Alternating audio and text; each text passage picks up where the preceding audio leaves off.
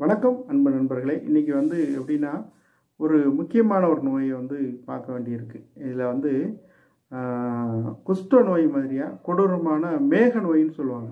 மேக நோய்னா நீரழிவு நோயெல்லாம் வந்து மேக நோயோடு சேர்ந்ததாக இருக்கும். அது வந்து பிரமேக நீர்னு சொல்லுவாங்க.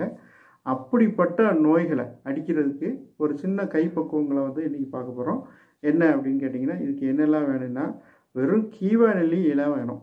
கீவா நெல்லி செடி வேணும். இதை மட்டும்தான் நம்ம முக்கியமாக தேர்ந்தெடுத்திருக்காங்க.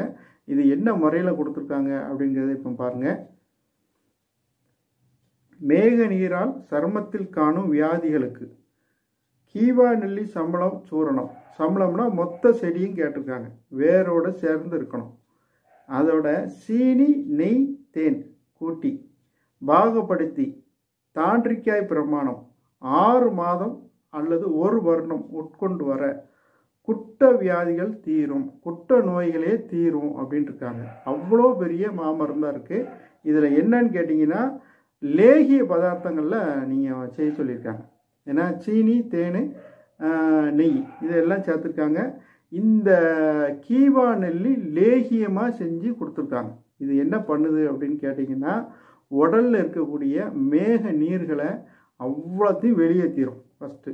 ரெண்டாவது என்ன பண்ணும்? செகண்டாக என்ன பண்ணும் அப்படின்னு பார்த்தோம் அப்படின்னா சுகர் நோயாளிகளுக்கு கை கால் காந்தல் வரும். இந்த காந்தலை உடனே நிறுத்திடுங்க இதுதான் இதோடைய ரகசியங்கள். கொடூரமான கஷ்டத்தில் இருப்பாங்க. கை கால் ஏன் காந்ததுன்னே தெரியாது. உள்ளங்கால் உள்ளங்கை காந்திக்கிட்டே இருக்கும். அந்த காந்தலுக்கு விடையே கிடையாது. அதுக்கு சரியான மாமருந்து இந்த கீவாநிலை சுவர்ணம் தான் கீவாநிலை லேகியம் தான் அது போக கீவானலி தைலமும் செஞ்சு யூஸ் பண்ணுவாங்க. அது எப்படிங்கிறத அடுத்தாக்க நம்ம சொல்லித் தருவோம் நீங்கள் இதை முதல்ல ஃபாலோ பண்ணிட்டு வாங்க. இது வந்து தொடர்ந்து சாப்பிட்டுட்டு வந்தோம் அப்படின்னா உடம்புல இருக்கக்கூடிய அனைத்து நோய்களையும் மொத்தம் மேக நீர் வந்து இருபத்தோரு வகை இருக்குது அந்த இருபத்தோரு வகைக்கு ரெமெடிஸ் வந்து இதுதான். இது வந்து ஆழ்நிலை தியானத்துக்கு போகிறவங்களுக்கு வந்து சித்தம் கலங்காமல் இருக்கிறதுக்காக இது பயன்படுத்தியிருக்காங்க அந்த காலத்தில். சித்தம்னு ஒரு இடம் இருக்குது தொண்ணூத்தாறு தத்துவங்களை பற்றி இப்போ நிறைய வீடியோஸ் போட்டுட்டு இருக்கோம். அதை பார்த்தீங்கன்னா உங்களுக்கு தெரியும். அந்த இதில் சித்தம்னு ஒரு இடம் இருக்குது சித்தம் அப்படிங்கிற இடத்த சுத்தம் பண்ணுறதுக்கு பயன்படுத்தக்கூடிய பெரிய மருந்து இதெல்லாம். ஏன்னா வந்து கோடி புண்ணியம் பண்ணினாலும் இப்படி உள்ள மருந்துகளை வாங்க முடியாது யார்கிட்டையும். ஆனால் இறைவன் வந்து அற்ப சொற்பமாக இதை வந்து ரோடுகளில் கிடைக்கக்கூடிய மூலிகைகள். பார்த்தீங்கன்னா தெரியும். இது வந்து கீவானிலிங்கிறது ரோடுகளில் கிடைக்கும்.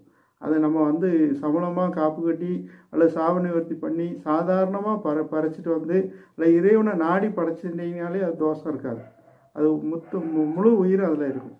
அதை வந்து முறைப்படியாக நீங்கள் கரெக்டாக பார்த்து பறித்து அந்த வேறு மூலிகையில் மூலிகையெல்லாம் நல்லா கழுவி சுத்தப்படுத்தி நல்ல நிழலில் காய வச்சு பொறுமையாக செய்யுங்க.